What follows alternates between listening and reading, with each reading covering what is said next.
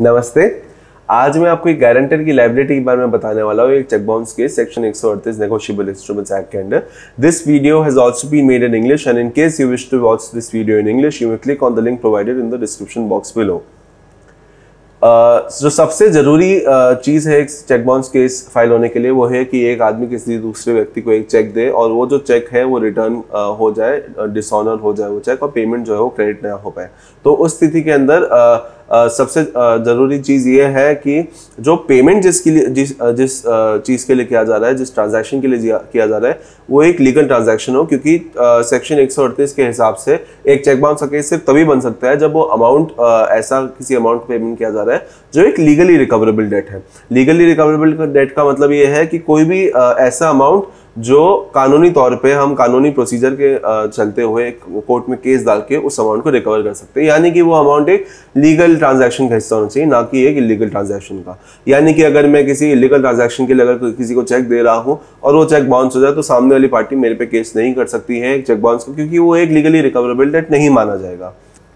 तो अब यूजुअली क्या होता है कि कमर्शियल ट्रांजैक्शन में तीन पार्टी होती है, जो लोन ट्रांजैक्शन वगैरह होते हैं, उनमें तीन पार्टीज़ होती है। सबसे पहले तो होती है बैंक या फाइनेंशियल इंस्टीट्यूशन जो लोन दे रही है। सेकंड पार्टी होगी जो कर्जदार है, जो पैसा जो ले रहा है। और तीसरी पार्टी होगी जो गारंटर होता है बेसिकली जो गारंटी दे रहा है बैंक या फाइनेंशियल इंस्टीट्यूशन की। अगर कर्जदार ने लोन वापस चुकता करने के अंदर कोई डिले कर दिया, कोई रिपेमेंट में कोई गड़बड़ हो गई, वो रिपे नहीं कर पाया तो उस स्थिति के अंदर गारंटर जो है अपने जेब से लोन का भुगतान करेगा बैंक को वापस। तो इस स्थिति के अंदर बैंक क्या करती है, जो फाइनेंशियल इंस्टीट्यूशन होते हैं, वो क्या करते हैं, वो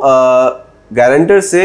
सिक्योरिटी डिपॉजिट के तौर पे चेक्स ले लेते हैं पोस्ट डेटेड चेक्स अगर मान लीजिए जो कर्जदार है, उसने अगर पैसा वापस करने में कोई डिले कर दिया या पैसा नहीं दे पाया तो जो पोस्ट डेटेड चेक्स जो है उसके गारंटर के, वो बैंक जो है वो डाल देती है और वो वहाँ से उसके अकाउंट से पैसा निकाल लेती है। लेकिन अगर ऐसा कोई पोस्ट डेटेड चेक अगर वो बाउंस हो जाए तो क्या ये चेक बाउंस का केस बनेगा? क्या वो एक गारंटर लाइबल होगा सेक्शन एक सौ अड़तीस के अंदर? तो यही सेम क्वेश्चन जो है, ये ऑनरेबल सुप्रीम कोर्ट के सामने था ICDS limited versus Beena Shabir के केस में ये सन 2002 का केस है। Uh, ये केस सुप्रीम कोर्ट में आने से पहले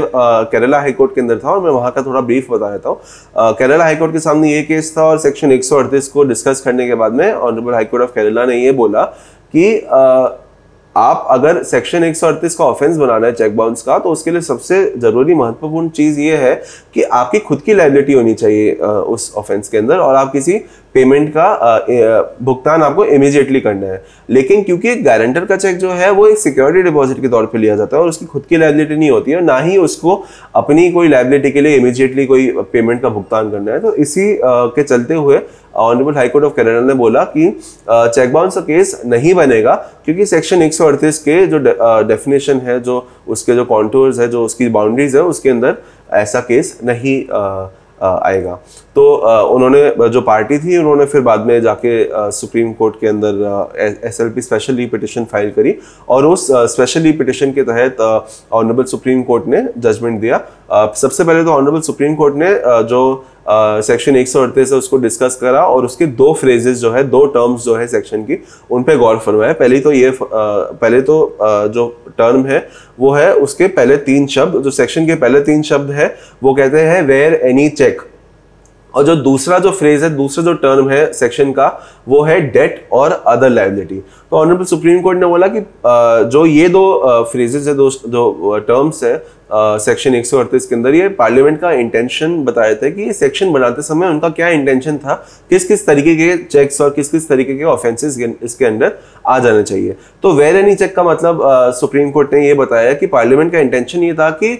कोई भी चेक मतलब यानी कि पार्लियामेंट का ये मतलब था कि हर तरीके का चेक इस सेक्शन एक के, को के अंडर कवर होना चाहिए। और जो दूसरा टर्म था डेट और अदर लाइबिलिटी तो सुप्रीम कोर्ट ने बोला कि पार्लियामेंट का इंटेंशन डेट और अदर लाइबिलिटी से कहने का ये मतलब था कि चाहे आपका खुद का पर्सनल डेट हो या कोई आपकी और लाइबिलिटी हो तो उस स्थिति के अंदर भी सेक्शन एक सौ अड़तीस का जो प्रोविज़न है वो कवर करेगा चेक्स को। सो देयरफॉर सुप्रीम कोर्ट ने बोला कि वेर एनी चेक और डेट और अदर लाइबिलिटी को हम इकट्ठे अगर पढ़ेंगे तो इसका मतलब ये होता है कि सेक्शन एक को बहुत ही वाइड इंटरप्रिटेशन दी जाएगी और ये माना जाएगा कि हर तरीके का चेक हो जाएगा, चाहे आप खुद पर्सनली लाइबल देने के लिए या आप नहीं हो लाइबल देने के लिए। तो उस स्थिति के अंदर ऑनरेबल सुप्रीम कोर्ट ने अपने जजमेंट के अंदर ये बोला कि जो गारंटर जो एक पोस्ट डेटेड चेक देता है सिक्योरिटी के तौर पे बैंक को या किसी फाइनेंशियल इंस्टीट्यूशन को, उस केस के अंदर एक